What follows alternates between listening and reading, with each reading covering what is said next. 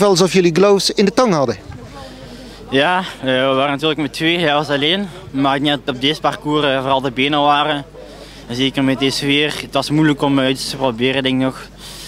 Pascal heeft het geprobeerd, maar dan ging Groos zelf en dan waren we alleen Groos denk ik. Dus ja.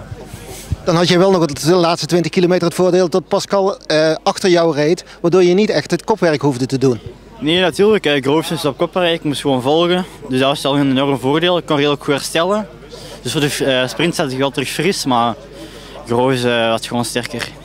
Hoe zwaar is deze wedstrijd? Het is een, mooie, een hele mooie wedstrijd, maar het was verschrikkelijk slecht weer. Koud en heel de dag regen, dus het was een lastige dag. Voor jou weer een nieuwe stap om hier op het podium te staan? Ja, natuurlijk. Ik doe een mooi seizoen.